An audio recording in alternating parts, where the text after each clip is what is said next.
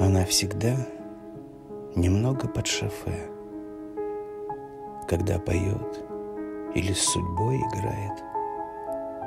Она всегда немного не в попад, на взгляды и слова не отвечает. Она живет в своем большом мирке, мурлычет в нем припевы и куплеты. Под дождь мечтает серым, хмурым днем, как к ней подъедет яркая карета. Она смеется часто не о том и улыбается не так, а так, случайно. Она давно оставила свой дом, и в этом есть ее большая тайна. Она недавно счастлива была, ее ласкал и обнимал любимый,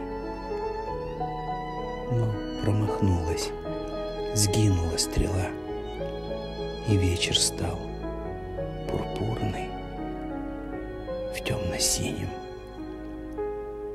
Она одна, по-прежнему одна. И под шофе заводит разговоры. Капля терпкого, тягучего вина ее кружит и будоражит взоры.